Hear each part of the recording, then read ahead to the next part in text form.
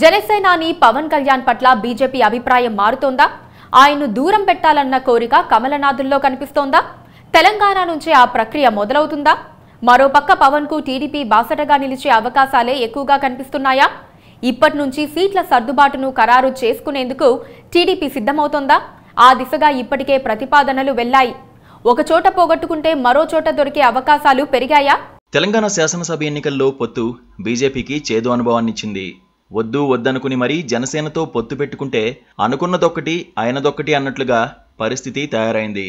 ఎన్డీఏలో జనసేన భాగస్వామి అంటూ ఆ పార్టీకి ఎనిమిది సీట్లను బీజేపీ కేటాయించింది.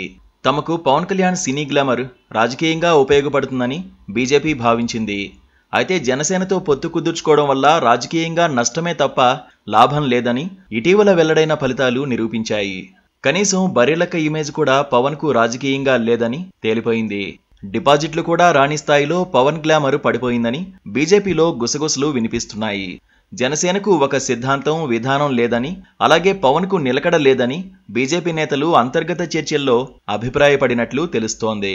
పవన్తో పొత్తు పెట్టుకోవడం ద్వారా తెలంగాణలో బీజేపీకి ప్రతికూల పరిస్థితులు ఏర్పడ్డాయని ఆ పార్టీ నేతలు అంటున్నారు.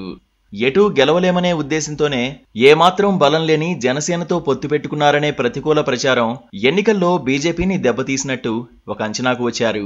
అందులో లోక్సభ ఎన్నికల్లో పవన్తో సర్దుబాటు వద్దని బీజేపీ నిర్ణయానికి వచ్చింది. ఆ క్రమంలోనే పార్లమెంట్ ఎన్నికల్లో ఒంటరిగా పోటీ చేస్తామని బీజేపీ తెలంగాణ అధ్యక్షుడు కిషన్ రెడ్డి ప్రకటించారు. బాబు నీకో దన్నం అంటూ పవన్కు ఆయన సంకేతం ఇచ్చినట్లయింది ఇక అర్థం చేసుకోవడం జనసేన వంతుగా ఉంటుందని బీజేపీ వర్గాలు చెబుతున్నాయి. ముందుగా మైత్రి హస్తాన్ని చాచిన బీజేపీ దూరం పెట్టాలనుకున్నప్పటికీ పవన్ను టీడీపీ అధినేత చంద్రబాబు దగ్గరికి తీసుకునేందుకు ప్రయత్నిస్తున్నారు. చంద్రబాబు జైల్లో ఉన్నప్పుడు స్వయంగా వెళ్ళి సంఘీభావం ప్రకటించిన పవన్ కళ్యాణ్ పట్ల టీడీపీ అధినేతకు అభిమానం పెరిగింది. అందుకే పరస్పర సంప్రదింపులతో పొత్తులను సీట్ల సర్దుబాటును ఖరారు చేసుకునే ప్రయత్నంలో ఉన్నారు. ఎట్టి పరిస్థితుల్లో చెయ్యి వదిలేది లేదని తెలుగు తమ్ముళ్ళకు చంద్రబాబు నూరిపోస్తున్నారు. జనసేనకు పదిహేను నుంచి ఇరవై అసెంబ్లీ సీట్ల వరకు కేటాయించేందుకు టీడీపీ రెడీగా ఉంది. అయితే ఆ సంగతిని ప్రస్తుతానికి పక్కన పెట్టి లోక్సభ స్థానాలపై క్లారిటీకి రావాలని టీడీపీ భావిస్తోంది.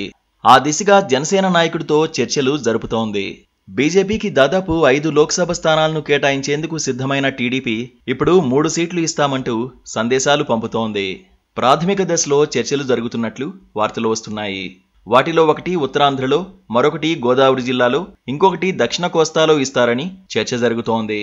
ఉత్తరాంధ్రలో అనకాపల్లి ఎంపీ సీటును జనసేనకు వదిలేసే అవకాశముందని తెలుస్తోంది. అనకాపల్లి ఎంపీ సీటుకు సరైన అభ్యర్థి తెలుగుదేశం పార్టీకి ఇంకా దొరకలేదు. అందుకే ఈ సీటును జనసేనకు విడిచిపెట్టాలని చూస్తోంది. ప్రజారాజ్యం టైంలో ఇక్కడ అల్లు అరవింద్ పోటీ చేసి ఓడిపోయారు. ఈసారి ఆయన బరిలోకి దిగవచ్చు.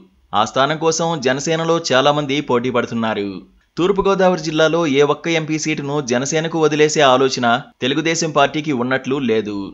అందుకే వెస్ట్ గోదావరిలో ఇవ్వాలని చూస్తోంది. మరి ఇక్కడి నుంచి నాగబాబు మళ్ళీ పోటీ చేస్తారా? వేరే వాళ్ళకు ఇస్తారా? చూడాలి. దక్షిణ కోస్తాలో కుదరకపోతే రాయలసీమలో టికెట్ తీసుకోవాలని జనసేన భావిస్తోంది. తిరుపతి పార్లమెంట్ అయితే బాగుంటుందని పార్టీ వర్గాలు అంటున్నాయి. అక్కడ బలిజ సామాజిక వర్గంలో పవన్కు మంచి ఆదరణ ఉంది.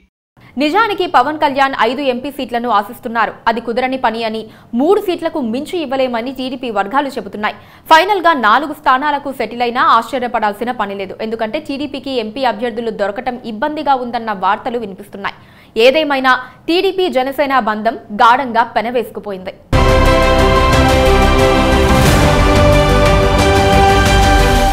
Please subscribe to subscribe to Please subscribe. Please subscribe to please subscribe to KTV Telugu KTV Telugu. KTV Telugu. KTV Telugu to KTV Telugu KTV Telugu channel.